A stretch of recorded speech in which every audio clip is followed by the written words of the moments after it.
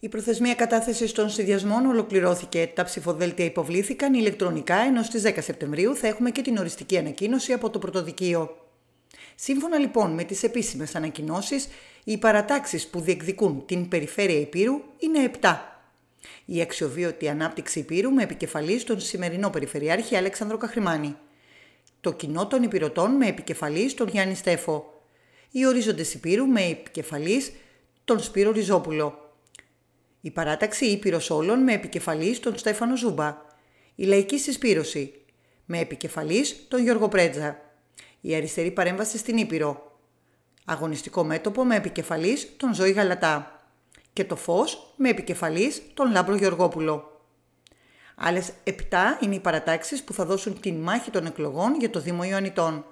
Παρά τα σενάρια και την έντονη φημολογία των τελευταίων ημερών, τελικά δεν είχαμε τουλάχιστον σε πρώτη φάση ενώσεις και έτσι οι δημοτικές εκλογές θα έχουν 7 παρατάξεις. Οι παρατάξεις που συμμετέχουν είναι οι εξής. Γιάννενα Νέα Εποχή με επικεφαλής στο σημερινό Δήμαρχο Ιωαννίνων Δημήτρη Παπαγεωργίου. Ενότητα Πολιτών Νέα Γιάννενα με επικεφαλής στον Θωμά Μπέγκα. Ιωάννινα 2023 με επικεφαλής στην Τατιάνα Καλογιάννη. Ανεξάρτητη Δημοτική Πρωτοπορία με επικεφαλής στον Νίκο Γκόντα. Γιάννενα Όμορφη Πόλη με επικεφαλής στον Παντελή Κολόκα. Λαϊκή Συσπήρωση Ιωαννίνων με επικεφαλής την Όλη Τσουμάνη. Και Αριστερή Παρέμβαση Ιωαννίνων Αγωνιστικό Μέτωπο με επικεφαλής τον Χρήστο Πατσούρα.